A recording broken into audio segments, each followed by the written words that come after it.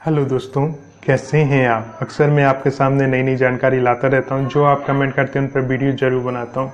तो दोस्तों, जैसे आपको मालूम है कि आज 29 अप्रैल 2021 को सभी न्यूज़पेपर में ये अपडेट आ चुका है कि जो आपका लॉकडाउन है, वो 7 मई किया जा रहा है दोस्तों।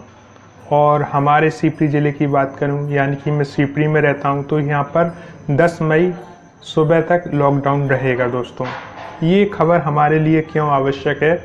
क्योंकि 5 मई को आपका डॉक्यूमेंट वेरिफिकेशन से संबंधित अपडेट आना है, जैसे कि आपको पता है।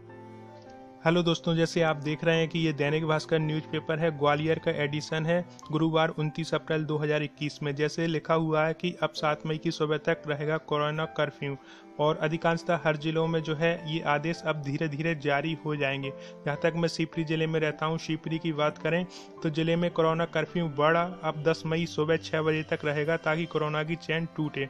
तो दोस्तों, पाँच मई को आपका डॉक्यूमेंट वेरिफिकेशन से संबंधित कोई अपडेट आनी थी, लेकिन अब कोरोना की जो गाइडलाइंस है, वो भी आगे बढ़ा दी गई है। लॉकडाउन है, वो भी आगे बढ़ा दिया गया है। कोरोना कर्फ्यू है, आप स्वयं जान रहे हैं कि सात मई कर दिया गया है।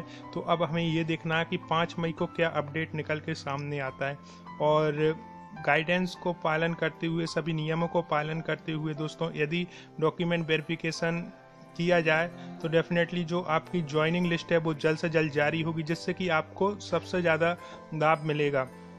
और यदि हमारी जो डॉक्यूमेंट वेरिफिकेशन है, वो यदि इसी तरह आगे बढ़ता रहा दोस्तों तो ज़ाहिर सी बात है कि जो आपकी फाइनल चयन सूची होगी, उसे भी जारी करने में जो है अब समय फिर लगेगा और ज्वाइनिंग में भी जो है फिर समय लगेगा।